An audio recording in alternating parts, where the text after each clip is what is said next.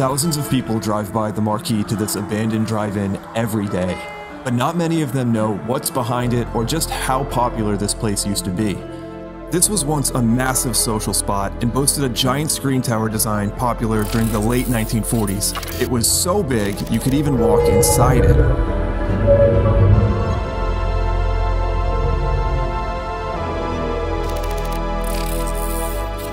The cars have been replaced by trees, and the screen hasn't shown a movie since 1996. Welcome to the abandoned Sutton Motor In.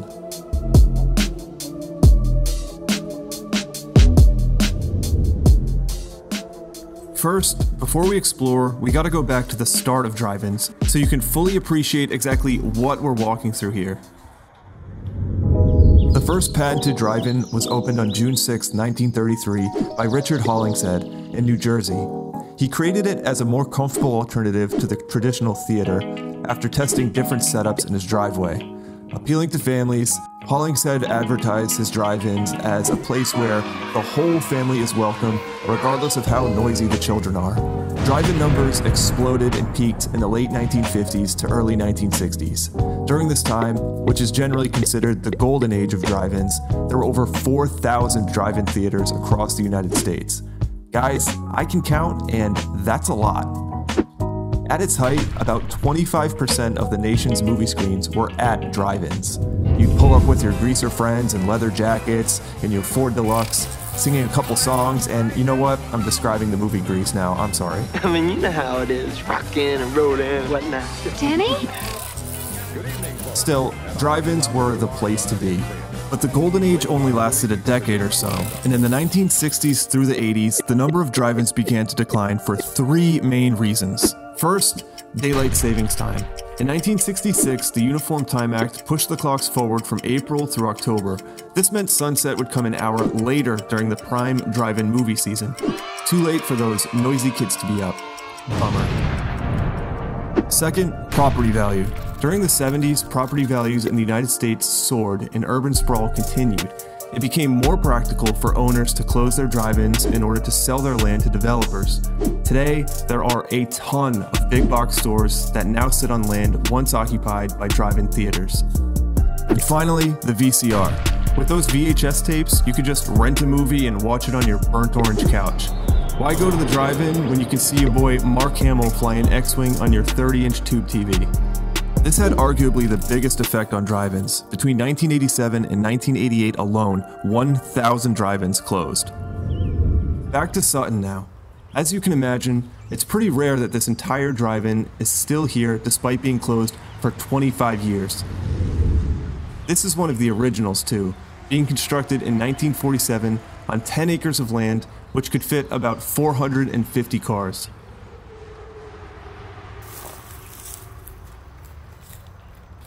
My friend Dave and I started at the back of the drive in and worked our way forward, planning to end at the massive screen. Just a few years ago, there used to be posts in the ground where the speakers would sit. Back in the day, you'd take the speaker and hook it onto your car window to hear the movie.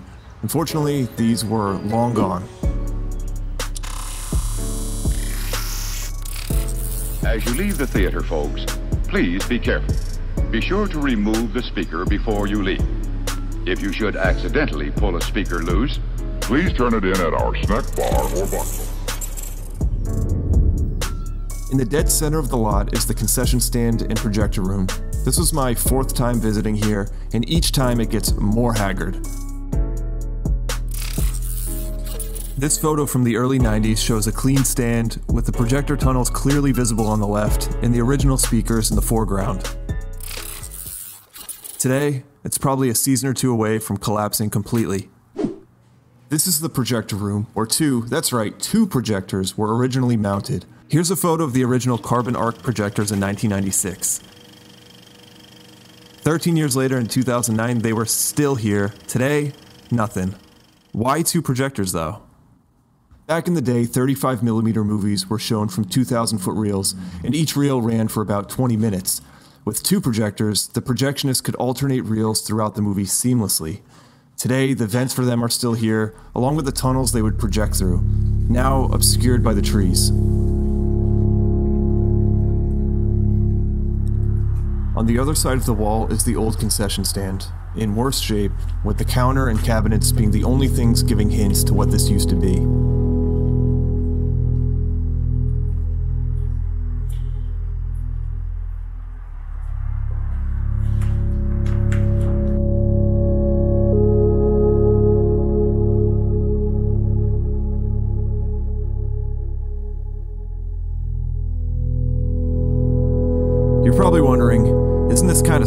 For 450 cars? And yes, you are right. I don't know how they did it, but I'm impressed.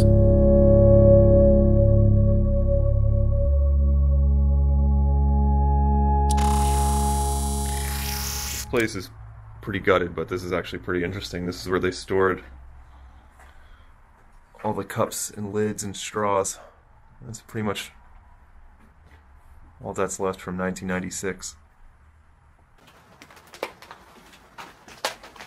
The only other place in here was the bathrooms. Pretty destroyed and easily in the worst shape here. It was at this point that it started to rain, which happens almost every time Dave and I visit somewhere.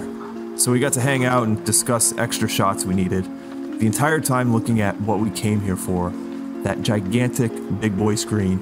Once you're good, mm-hmm. I'm gonna we'll tuck our stuff behind there. Yeah. And then I'll open up that door and I'm gonna get some like tracking shots Okay. with the Osmo, just like kind of revealing everything, and then we'll do the same thing with the projector. After almost an hour, we got a small break and made our move.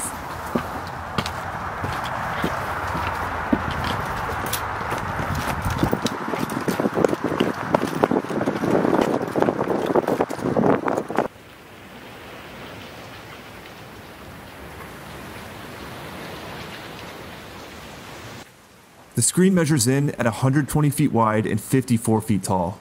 Again, it's amazing that this thing is still standing here after over 75 years. They built them solid back in 1947. Inside is a skeleton of metal and wood, with holes at the top providing some light inside. There are catwalks in here, with the only way up being a vertical wooden ladder suspended about 15 feet off the ground. So if you look right there, there's actually a wooden ladder that's completely vertical that leads to the very top and goes to a catwalk, maybe about 50 or 60 feet up. Hypothetically speaking, what's it like if we did climb the five stories to the top? Climbing the ladder brings you past the catwalks, with the space getting more and more narrow.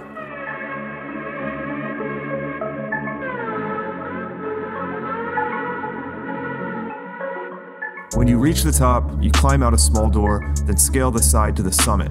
And at the very top, a pretty sketchy roof and an interesting perspective. Since the car park slopes upward towards the back, it appears that everything is closer and that we're not that high off the ground. Seeing the treetops around you, though, brings you back into reality pretty quickly. The coolest part about the inside of the tower is that the original square screen from 1947 is here. It was covered over by a larger, wide aspect ratio screen in the 1950s with the introduction of CinemaScope. I can't stress enough how huge this screen is. There's a reason why this is one of my favorite abandoned places. Leading away from the screen and towards the main road is the A-frame box office where cars would pass through after buying tickets. Rough shape, but again, still here somehow. And at the very front of the property is the stone marquee, which was once lit up displaying the latest movies and showtimes. This was actually built by the original owner, W.P. Bernard, who was a stonemason. Okay, if this spot was so hot, why did it close? Guys, this is where it gets spicy. I'll give you the short version. In 1995, three young men with a passion for driving signed an agreement with the owners to operate it. That year, they put in work fresh paint, a tune up on the original 35mm projectors, and had the grounds in perfect shape. While this was going on, the town board of Sutton was getting a little hot on the collar. You see, they didn't like this drive in. Many years prior, this place showed some adult movies, and they would have been happy to see this spot shut down or developed. Sutton is a small town, and that grudge lived on, regardless of the fact that these new guys were going to be showing Mr. Holland's opus, which, to be fair, Richard Dreyfuss did look pretty fine in, so maybe they had a point? In June 1996, the Sutton Motor In officially reopened, but it was short lived. Just two months later, the town of Sutton pulled the theater's operating license, citing unpaid bills for police details. The feud between the operators and the town soured future prospects, and the theater remained closed. Today, it's in an extreme state of disrepair.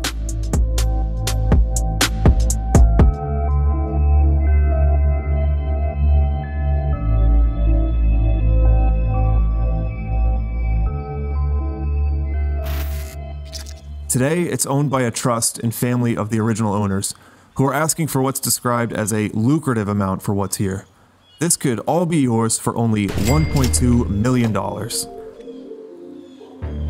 Until someone decides to pay up, this relic of the past will remain here, being reclaimed by nature.